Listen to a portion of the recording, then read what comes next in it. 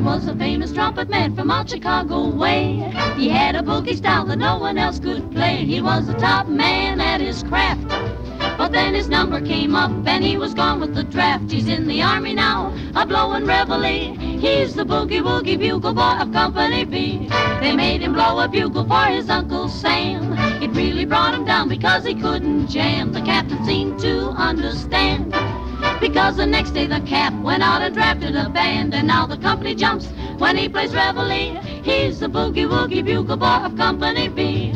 A toot, a toot, a tooty lad, a tooty blows it eight to the bar.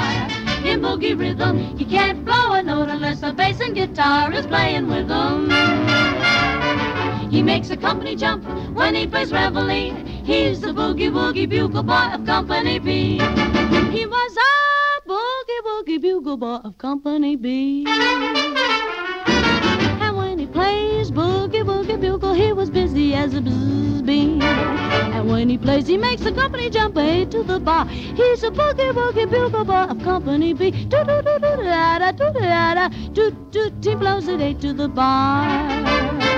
He can't blow a note if the bass and guitar isn't with him.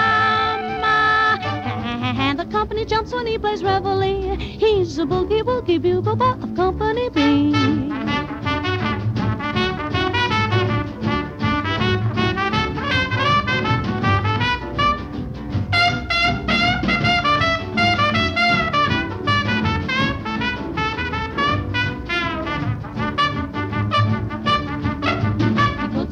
sleep with Boogie every night and wakes them up the same way in the early bright. They clap their hands and stamp their feet because they know how he plays. When someone gives him a beat, he really breaks it up. When he plays reveille, he's the boogie woogie bugle of Company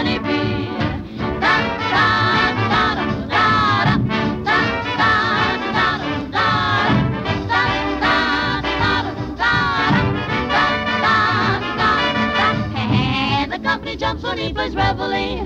He's the boogie woogie bugle boy of Company B.